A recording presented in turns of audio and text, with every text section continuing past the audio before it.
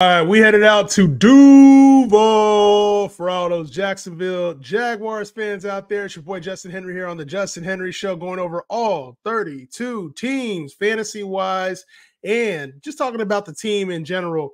Uh, I'm going to talk about every single player. So if this is your first time, do not make it the last time. Subscribe to the channel, drop a like here for me so we can continue to get this fantasy advice all season long. Now, the Jacksonville Jaguars were a team that was playing really well. And then they fell off as a as a team towards the second half of the year. And a lot of that had to do with, you know, Trevor Lawrence's injury. We saw the injuries to the receiving corps. Uh, this team just kind of fell off. But offensively, um, this is a team that was supposed to have way more punch than it did last year. Trevor Lawrence really didn't take the ascension people thought he would. Calvin Ridley was a big name that was expected to come in and play well.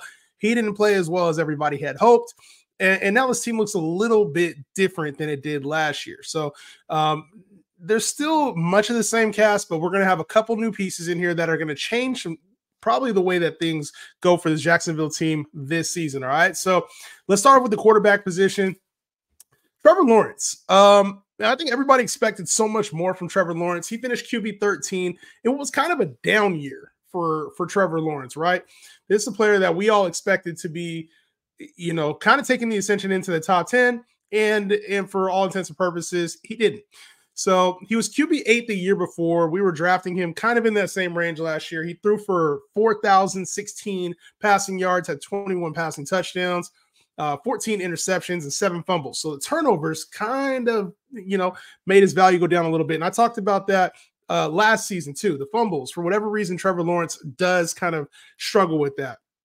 I think this year, though, when we look at Calvin Ridley being gone, and we kind of look at like what our expectations were of Trevor Lawrence and how he fell short, I think he could be a value in drafts in 2024. So I think last year he was kind of forcing things a little bit, especially when it came to like the Calvin Ridley talk, trying to get him like red zone looks and get him his yardage. He also was dealing with injuries at different points of the season. So if we can get a healthy season out of Trevor Lawrence, if we can get you know, just a little bit more free flowing offense out of him. He still provides rushing. I like what Trevor Lawrence, his value could be in drafts this year, where right now, you know, you, you probably got guys like Caleb Williams that are going to go over him, Jordan Love, Brock Purdy, Tua Tagovailoa, a lot of players that he's probably going to be pushed outside the top 12 quarterbacks in fantasy, maybe even a little bit further. So Trevor Lawrence is a name who we all projected to be a generational type quarterback, a generational prospect. He hasn't lived up to that quite yet, but I do think that there's some room to grow within this offense and for our fantasy teams. Um, his college teammate Travis Etienne at running back played really well last season. He finishes the RB3, got off to a really hot start, had 1,008 yards, 11 touchdowns, also provided 58 catches, 476 yards in the air. So his his the beginning of the season, it looked like we were getting uh, an extreme RB one case, and then you know he kind of fell off in the second half slightly. Efficiency started to go down, um, and this is one of those players where you were getting him in the third round, fourth round last year drafts. Now you're gonna have to pay first round price tag, maybe second round price tag for Travis Etienne. I'm not there.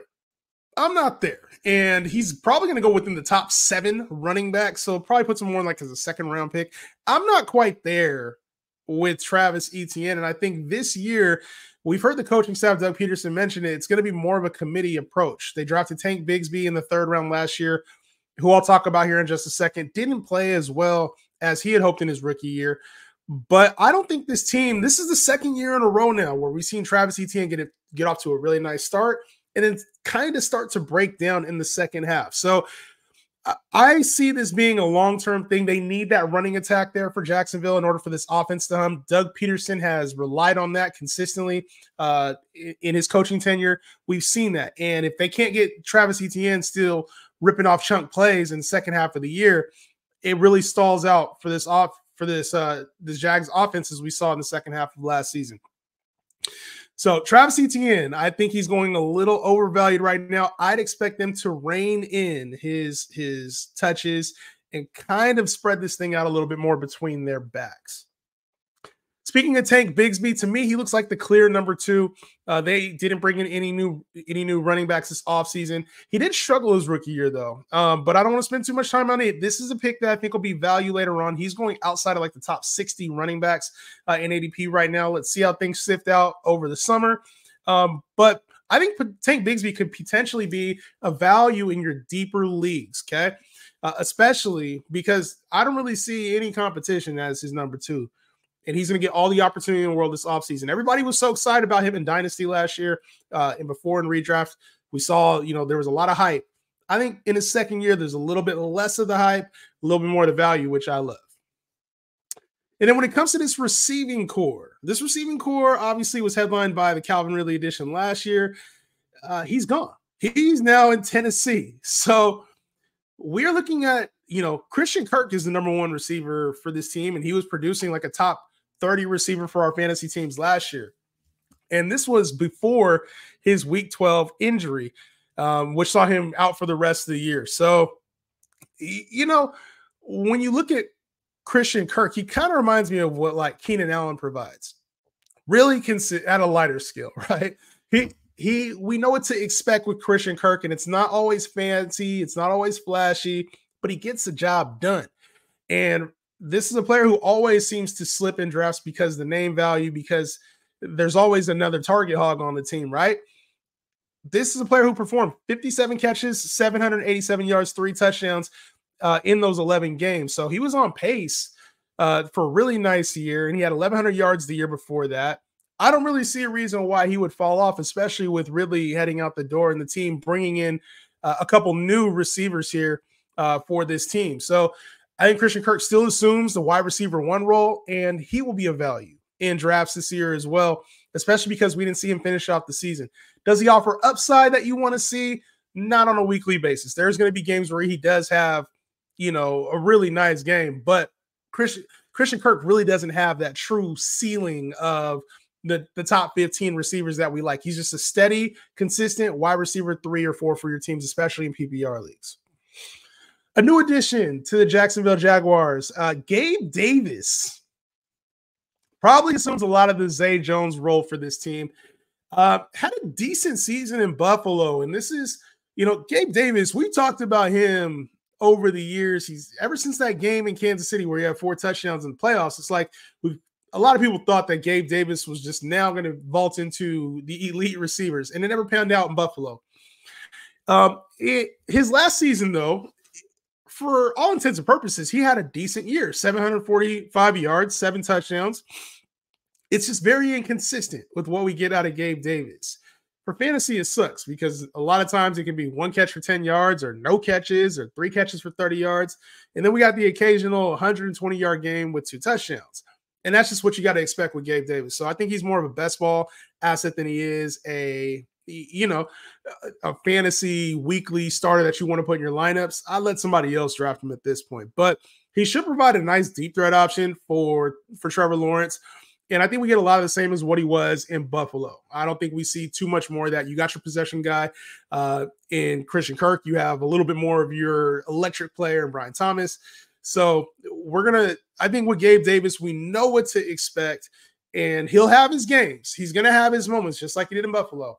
I just think it's going to be raining a little bit, and I don't trust it fully for fantasy, as I haven't over the last few years, and it's done me well. So Gabe Davis, a good player. He's a good real life player, but he's just going to be very inconsistent for your fantasy teams.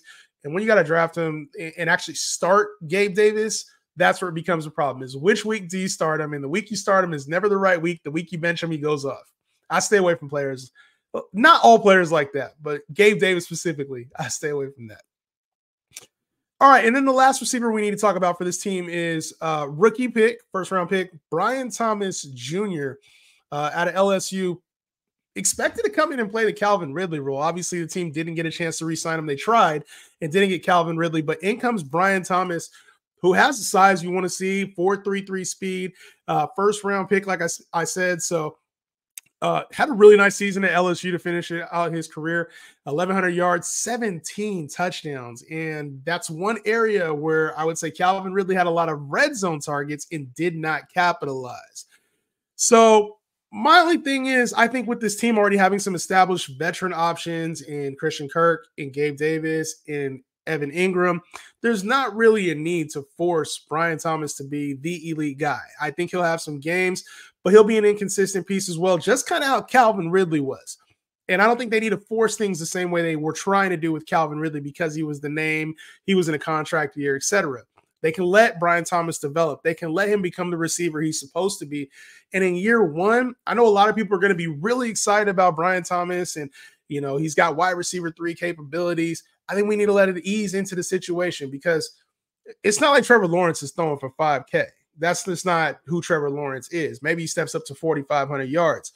But Gabe Davis is going to command anywhere from 600 to 900 yards. Christian Kirk's going to be in that 1,000 to 1,200 yard marker.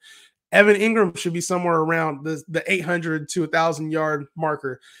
Travis Etienne will be around 500 yards. Like, it's just there's not a lot of yards left to go for Brian Thomas. So if he was around the 700 yard and you know six touchdown range, I think that's a really solid rookie season, rookie campaign for Brian Thomas. And maybe he did a little bit better than that. It wouldn't surprise me. But to see him be like a thousand yard receiver or eight to 10 touchdown guys rookie year. I'm not quite sure we're there yet.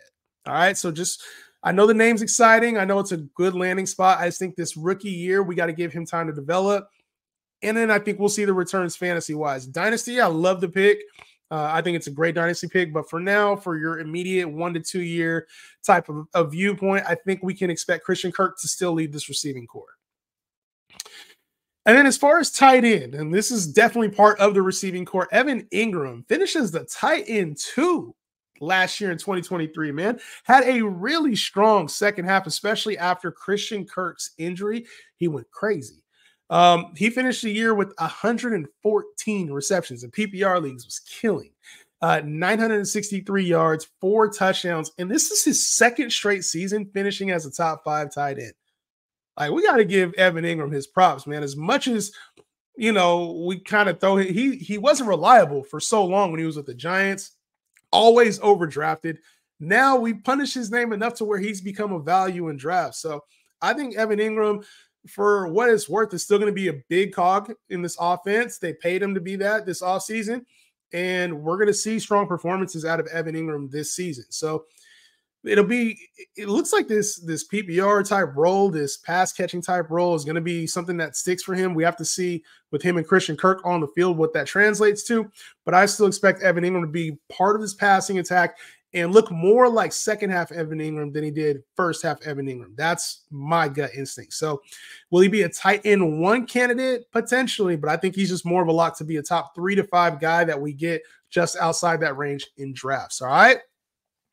So that does it for Jacksonville. Uh, hopefully, you guys got some good info out of that. If there's anybody I did not talk about or any questions you have about players specifically, let me know in the comments. Otherwise, I'll see you on the next one.